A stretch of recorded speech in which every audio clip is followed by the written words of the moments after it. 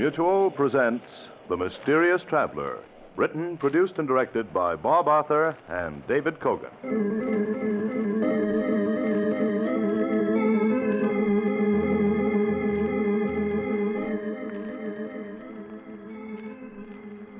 This is the mysterious traveler, inviting you to join me on another journey into the realm of the strange and terrifying. I hope you will enjoy the trip, that it will thrill you a little and chill you a little.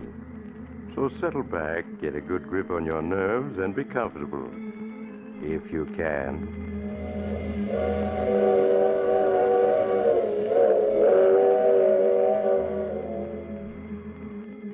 Where are we going? Tonight we're going to drop in on Henry Norton, a man who saw death in every corner.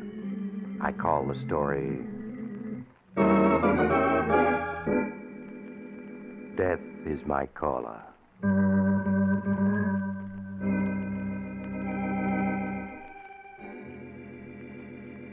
My story begins late one afternoon in the luxurious office of Henry Norton, a stockbroker.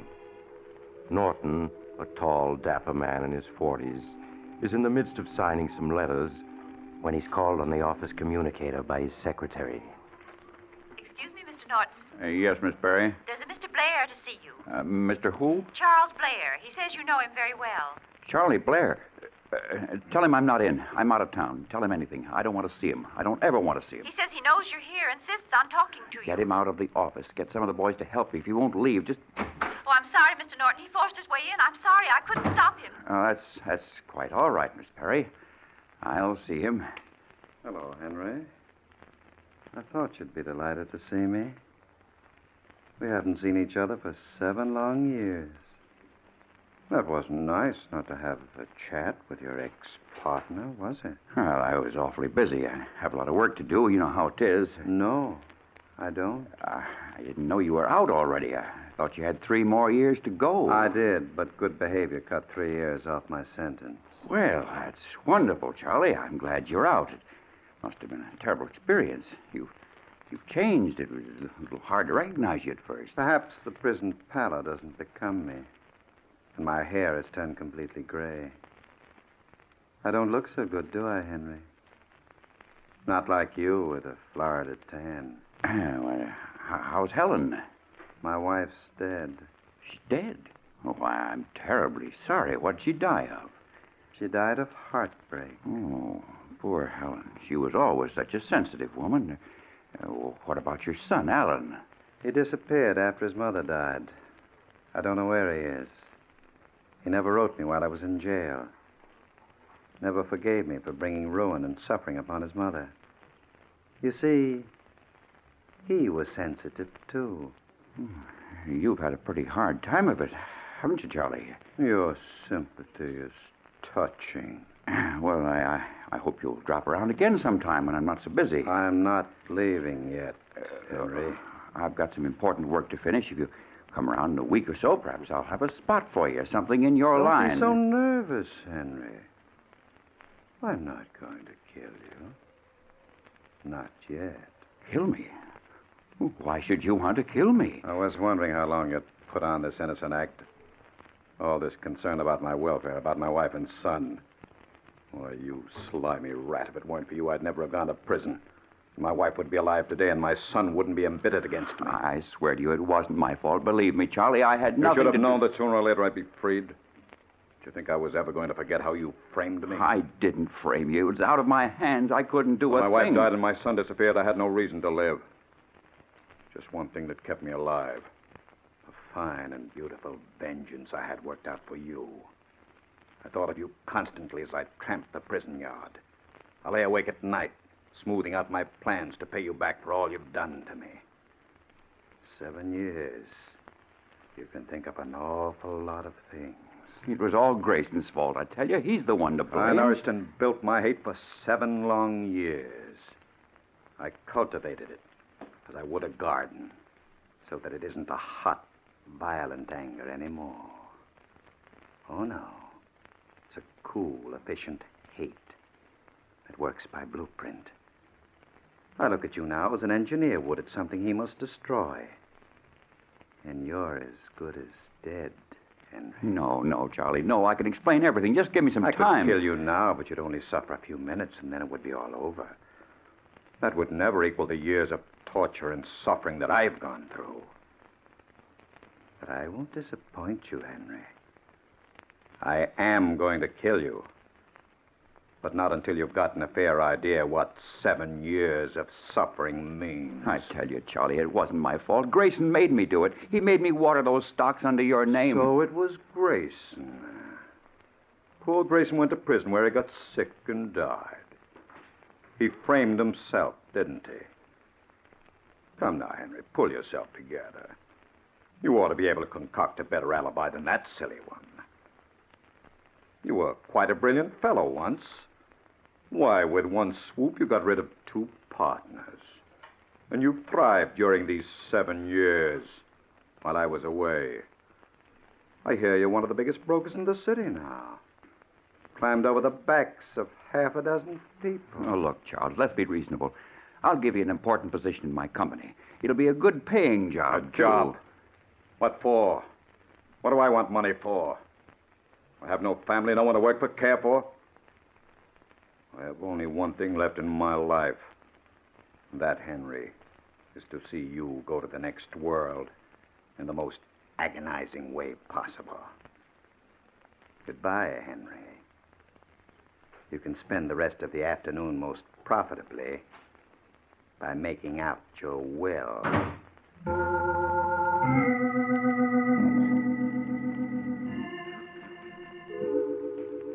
Henry Norton's cold and clammy hands were trembling as Charles Blair left his office. The impact of seeing this ghost from his past left Henry's mind in a whirl of confusion. His mind turned to flight, but that was impossible. His money, his very life was wrapped up in his business. He couldn't flee. His brain in a turmoil, unable to do any work, Henry got his hat and coat and left his office. He arrived home, badly unnerved, and retired to his study to give the problem of Charles Blair further thought. But he was interrupted. Uh, see who that is, Miss Dean. Uh, if it's Mr. Blair, don't let him in. I'm never into him, understand? Yes, Mr. Norton, I understand. How do you do, madam? Is this the Norton home? Yes, what can I do for you? I'm Mr. Madden. I'd like to see the head of the household. Just a moment, please. Uh, who is it? He says his name is Madden. Madden? I don't know anybody by that name. Uh, has he got gray hair? No, Mr. Norton, his hair is black. Ah, all right. All right, I'll see him. Did you want to see me, sir? Uh, yes, sir. Are you Mr. Norton? Yes, I am. All right, boys, bring it in. I just, just put it down by the door for the moment, boys. That's it. Hey, what's going on here? Uh, why are you bringing a coffin into my apartment? Who are you? Well, now, if you please, I'd like to see the body. Body? What body? What's this all about? What's this coffin doing here? We've come for the body of Henry Norton. Why, you must be crazy. I'm Henry Norton. You? I, I'm sorry. I must have gotten the names confused. Uh, what was your brother's name? I have no brother, and there's no body in this house. If this is some stupid joke, I don't think it's funny at all. I'm not in the habit of playing jokes, sir. I've been an established undertaker for many years. Here's my card. The devil take your card. Who put you up to this? Some man came to my parlor yesterday and arranged for the funeral of Henry Norton. He paid for everything in advance. Some man? What was his name? He didn't leave any name. Charlie Blair. What did he look like? Remember, rather tall, I think. His hair had turned white. Blair. So it was Blair trying to frighten me. Get out. Get out of here, you stupid fools. Take that coffin back with you. I'm not used to being spoken to like that, Mr. Norton. Get out of here before I throw you out. Come on, boys. Uh, wait a minute. Don't leave that coffin here. It's all paid for, Mr. Norton. It's yours now. Keep it. You might need it sometime.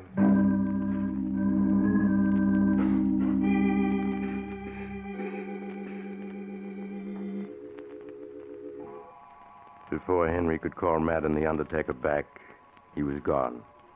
Henry turned from the door and stared at the new coffin on the floor.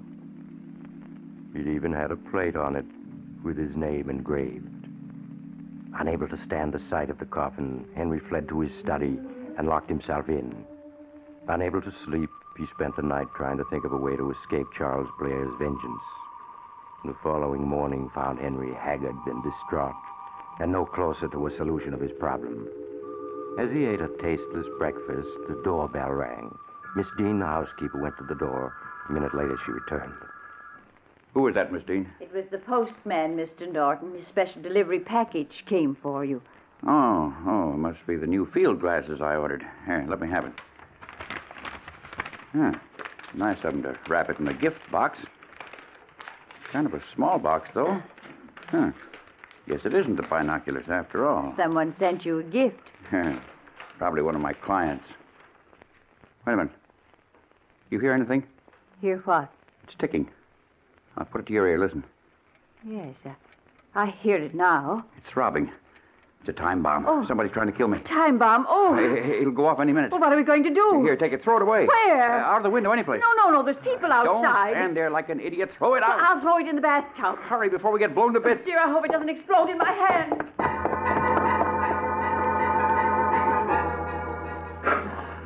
Henry Norton stood frozen with fear as Miss Dean raced with the package to the bathroom. A moment later, he heard the water gushing in the tub. Aware of the danger he was in, he hastily retreated to the library, which was the farthest room in the house from the bathroom. There, he crouched in the corner, feverishly mopping his brow. Ten minutes later, a police car raced up to the house, and the doorbell rang.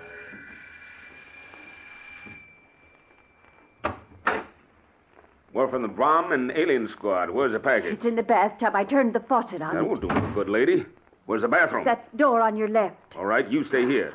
Jim, you come along with me. Okay, here's the bathroom. You better stand back a little, Jim. I'll take a look at it myself. Well, uh-huh. It isn't ticking anymore. Might be safe to open it now. Well, here goes. Why? Why, it's only an alarm clock. Someone must have wound it up before he sent it out. Now, who'd want to do a fool thing like that?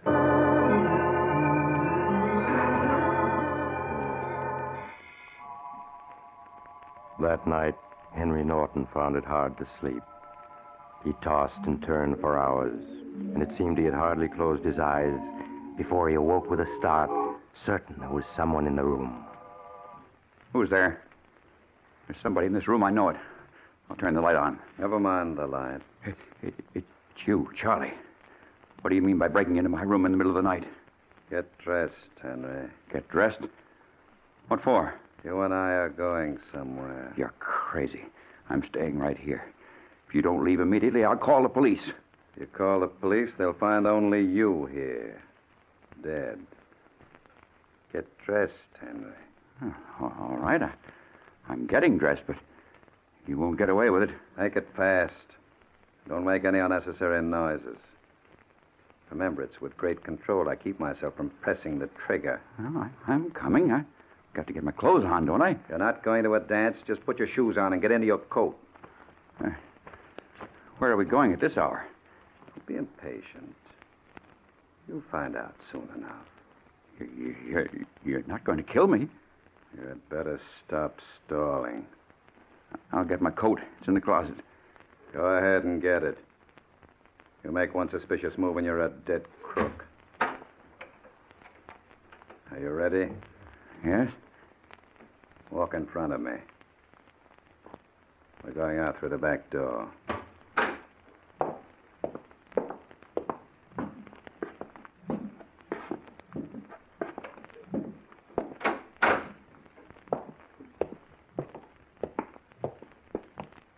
Now, into the car. You're going to drive. You want me to drive? That's what I said, and don't plan anything. Only takes a fraction of a second to fire a gun. You'll follow my directions carefully. Drive slowly.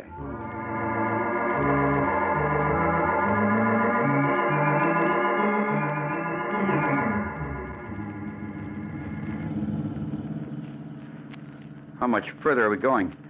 Not much further, Henry. Stop a little ahead of that tombstone sign. We're, we're near the cemetery. Look, Charlie. Charlie, I- know I did you a great wrong. Maybe we can work out something. I, I, I've got lots of money. Stop here.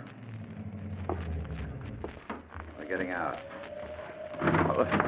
Be reasonable, Charlie. Let's talk the this. tombstone cutting establishment. Keep walking between the two rows of tombstones. Because this is our destination. Please, Charlie, don't. I, I'll do anything. I'll turn over half my money to you. Ah. Why not all? All right, I'll give you everything I have. I don't want any of your money. And I'm not going to kill you yet. You see the tombstone in front of you? You see it? I'll turn the flashlight on it so that you can read it. There. Well, go ahead, read it. Henry Norton, born March 15, 1899, died October 24st, 1947. October 21st. Why, that's Tuesday, the day after tomorrow. That's right. The day after tomorrow. You have two whole beautiful days to live.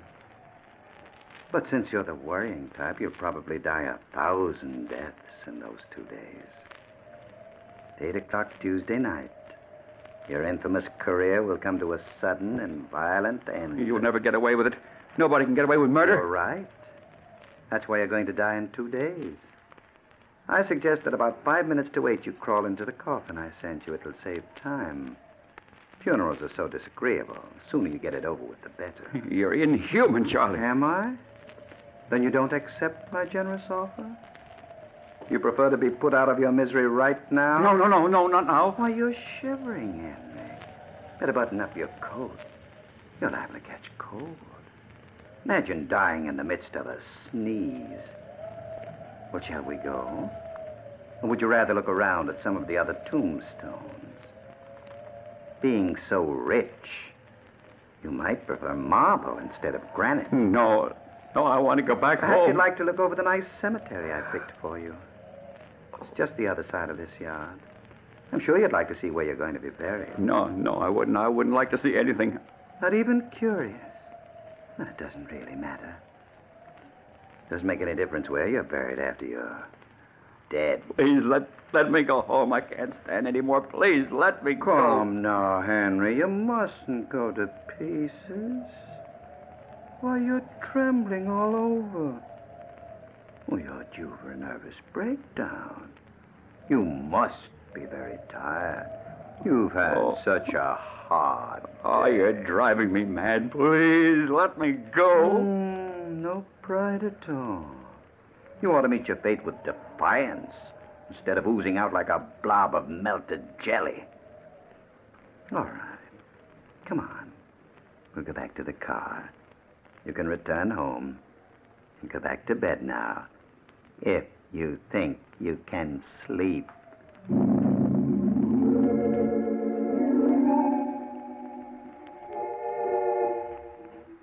The morning of October 21st arrived, and Henry Norton's nerves were a little calmer. He had been promised a police guard, and detectives were searching the city for Charles Blair. He was reading the morning paper at home when the phone rang. Hello? Hello, Henry. Charlie, it's you. Very much me, Henry. How are you feeling? I, I'm fine. I, I forgive you for your, your joke on me the other night. Joke? I wasn't joking, Henry. In fact, I called now to ask if you would like an elaborate funeral with flowers or just simple services with no one but your intimate friends present. Oh, but how foolish of me. I forgot you have no friends. So my call was useless. But I'll see you tonight at 8 o'clock sharp. Goodbye, Henry. Operator, operator. I, must trace that call. Please tell me where it was coming from. Yes, I'll wait. Huh? What? The Judson Funeral Parlors? Well, that's in this block.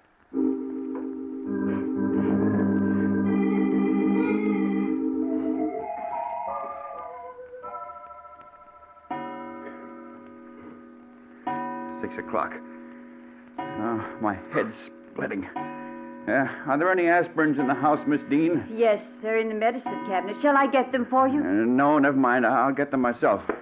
Uh, tonight I'm supposed to die at 8 o'clock. But that's fantastic. Blair can't carry out his plan. Not if I had police protection. I have nothing to be afraid of. Nothing. Oh, here are the aspirins. I'll take a couple of them. Oh, my head's splitting. No. No, maybe they're poison. That's right. They do look too large for aspirins. They are poison. Got to be on my guard.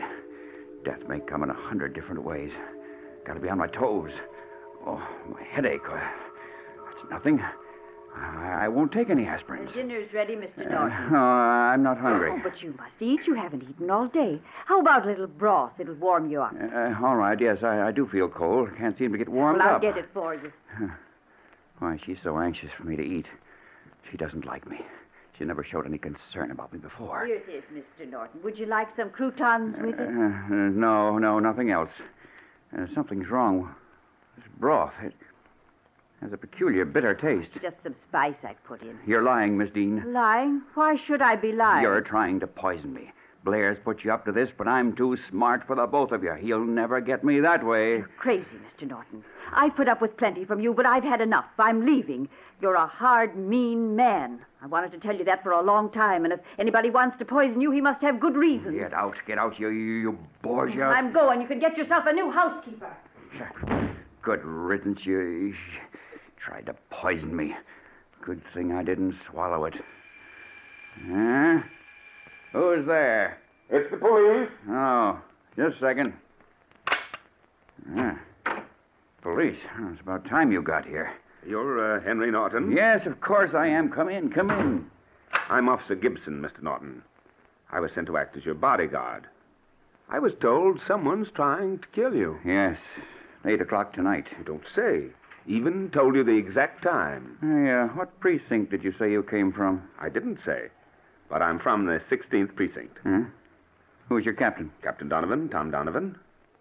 Say, what's all this about? I just want to make sure you're a real policeman. What do I look like, a fireman? Uh, I've just got to make sure. You got any credentials? Why, of course I have. Here's my identification card, and here's my badge. Hmm. I guess you're okay. I've got to be careful. Blair's promised to kill me at exactly 8 o'clock tonight. He's capable of any trick. Well, well, you don't have to worry, Mr. Norton. The chances are that he's just trying to frighten you. But if he's serious, he won't get very far. You don't know him. He's an inhuman fiend. Well, I'll take care of him if he comes. Say, you don't speak like a policeman. Your English is too good.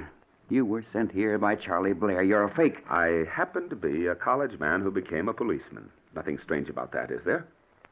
Why don't you call the precinct and make sure? I will. I'll call him right away. Hello, operator. Give me the 16th Police Precinct station. Hello, 16th Precinct? Uh, this is Henry Norton. Uh, did you send an officer named Gibson to my house? Oh, you did? Ah, I just wanted to make sure. Uh, thank you. Sorry, you know, you, you can't be too careful. Well, that's okay. I understand how you feel.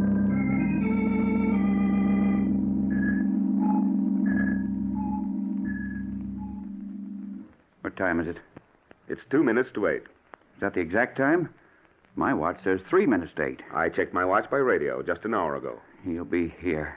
I, I know it. I don't think so. No man in his right mind would walk into a trap. Ah, it's eight o'clock. Your hall clock is off about a minute. Well, say, you're shaking like a leaf. Well, I'm frightened. He certainly put a scare into you. But what was that noise? I didn't hear anything. I'm sure I heard something move. Oh, it's just your imagination. Oh, what time is it? Just eight o'clock. As a matter of fact, it's a few seconds after eight. There he is. There he is. It's him. He's come. Stay right here. I'll answer it. Don't don't leave me. No, you stay here.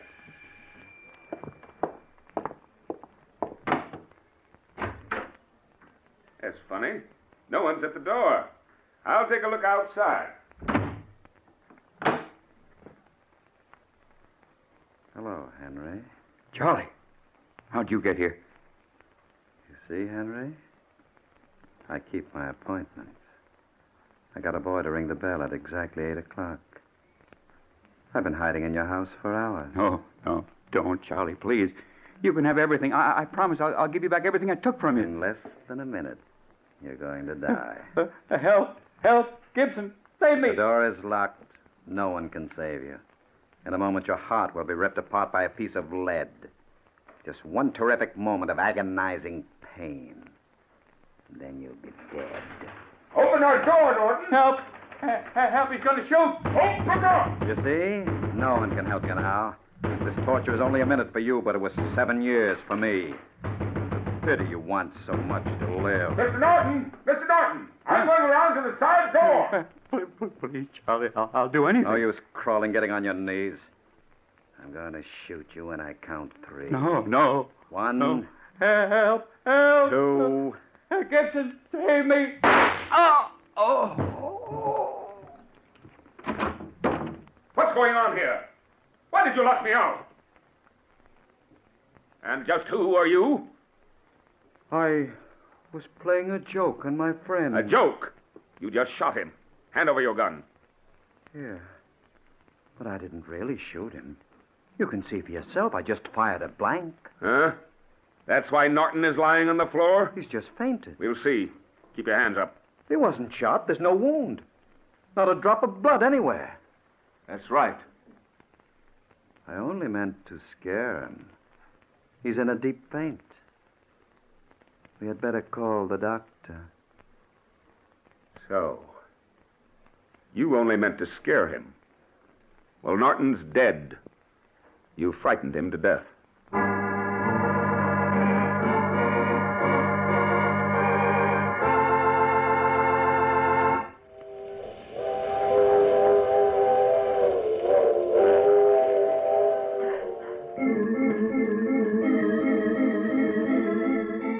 This is the mysterious traveler again. Did you enjoy our little trip? Poor Henry Norton. Imagine dying from the noise of a blank cartridge. His nerves were really on edge, weren't they? Oh, well.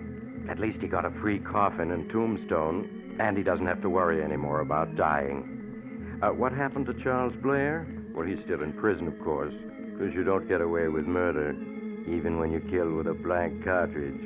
And uh, speaking of murder, I recall another case in which a, a lovely young girl was able.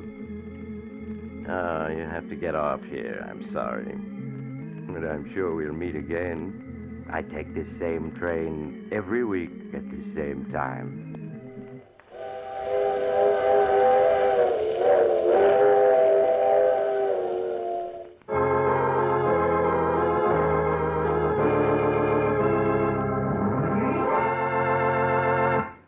You have heard The Mysterious Traveler, a series of dramas of the strange and terrifying. In tonight's cast were Maurice Tarplin, Santos Ortega, Agnes Young, Ted Jewett, and Neil O'Malley. Original music was played by Paul Taubman. The Mysterious Traveler is written, produced, and directed by Bob Arthur and David Kogan. Listen next week to a tale titled Invitation to Death. Another strange and terrifying tale of the mysterious traveler. This program came from New York. Another program of tense and dramatic action follows in just a minute. Stay tuned to the station for Official Detective. Carl Caruso speaking. This is the Mutual Broadcasting System.